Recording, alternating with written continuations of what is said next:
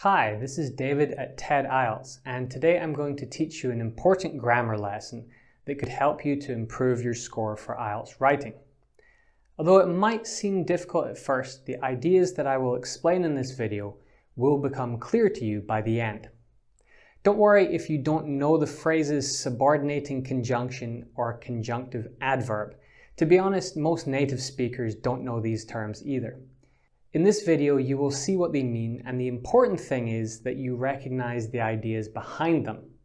Doing this isn't nearly as difficult as you think, and it can have a big impact upon your IELTS score.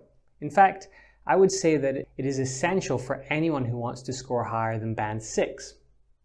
To help you understand, I'll use lots of example sentences, and if you pay attention, then you'll get a good understanding of this whole concept by the end. If you just want to focus on a few key points, you can use the chapter titles below to skip ahead to the relevant section. But I do recommend that you watch the whole video if you want to get the most benefit from it.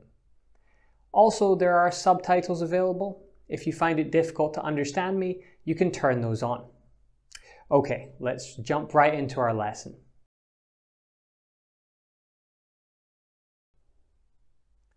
Let's start with subordinating conjunctions. These are words that begin dependent clauses. You will easily recognize some of the most common ones. While, because, when, although, despite. There are many more, as you can see here. The important thing for now is to understand that these words and phrases begin dependent clauses. These are clauses that are fundamentally incomplete. They may have a subject and a verb, but they will not contain a complete thought. As such, they must be attached to an independent clause if we are to use them in a sentence. This independent clause will present a complete thought, with the dependent clause merely adding extra information to it.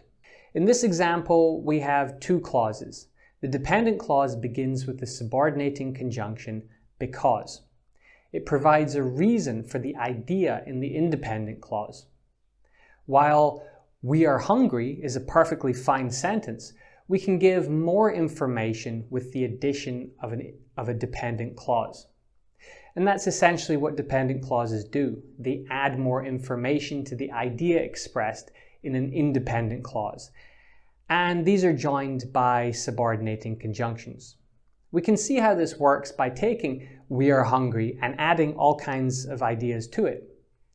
It is worth noting here that whilst dependent clauses must be attached to independent clauses, they don't necessarily have to come first. We can change the order about. Note in the examples that there is a comma after the second in the second sentence, but not in the first. Hmm, why is this? Well, when we put a dependent clause first in the sentence, it will be followed by a comma. When it comes second, there should be no comma. Okay, in review, what does a subordinating conjunction do? It begins a dependent clause. Now let's look at our next term, the conjunctive adverb. Conjunctive adverbs also begin clauses, but they begin independent clauses rather than dependent ones. These also include some very common words and phrases such as therefore, meanwhile, consequently, and furthermore. You will recognize these if you have done IELTS writing before because they are very common in formal writing like essays, and indeed there are many more than just these five. Importantly, they go at the start of an independent clause. In both of these examples, there are two independent clauses. In the first example, they are part of one sentence, and in the second, they're divided into two sentences. We can join them into one sentence only if the meaning is really clear and they are closely related. Conjunctive adverbs follow semicolons and full stops, that's periods in American English. They must be followed by a comma. These punctuation features are not hard to learn. When you recognize common conjunctive adverbs like however and therefore and meanwhile, you should know to place them after a semicolon or full stop and to follow them with a comma. But what happens when you make a mistake? Well, let's explore the confusion that occurs when we mix up subordinating conjunctions and conjunctive adverbs. We have now seen the functions of subordinating conjunctions and conjunctive adverbs, so we should be familiar with their differences. To put it as simply as possible, subordinating conjunctions begin dependent clauses and conjunctive adverbs begin independent ones. When you remember that, it is not very difficult to use them correctly. However, it can be easy to forget this because there are so many of each type. As such, it is quite common for people to confuse subordinating conjunctions and conjunctive adverbs like this. The problem here is that the writer has used although like a conjunctive adverb, but of course it is a subordinating conjunction. Most likely he confused this word with however. These two words have quite similar meanings, but they are used very differently. Still, it is possible to use although here. To do this, we would need to figure out which of these clauses could realistically become a dependent clause. Either of them could technically become dependent, but it is more likely that we would do it with the first clause, like this. This is both grammatically correct and logical. It is also quite common that people use these words in basically the correct way, but then confuse some aspect of the punctuation. Even when you put although in the right place with the right meaning, you have to avoid accidentally putting a comma after it. This is simply not correct, and we need to remember that although is a subordinating conjunction, and so it should not be followed by a comma. I want to take a moment to teach you something a little bit advanced.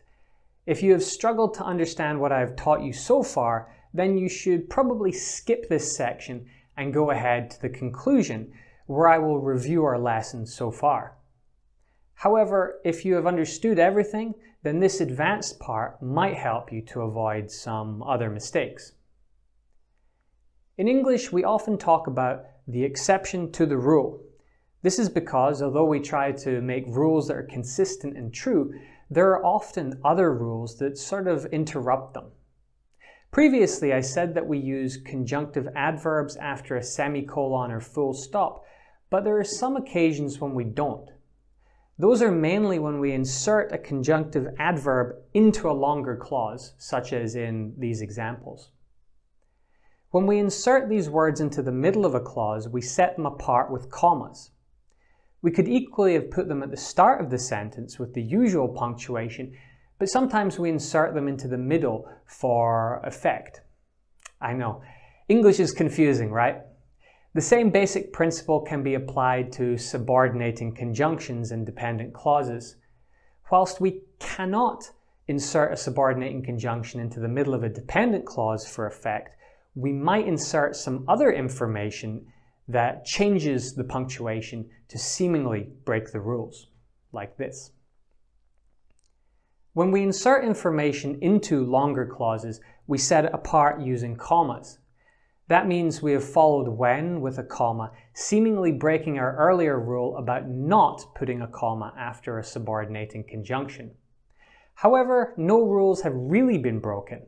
We're just using several grammatical rules together, making it appear that way.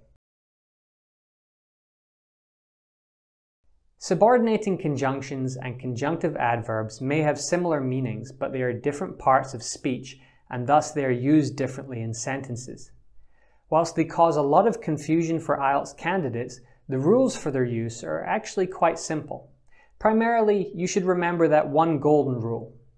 Subordinating conjunctions begin dependent clauses, and conjunctive adverbs begin independent clauses.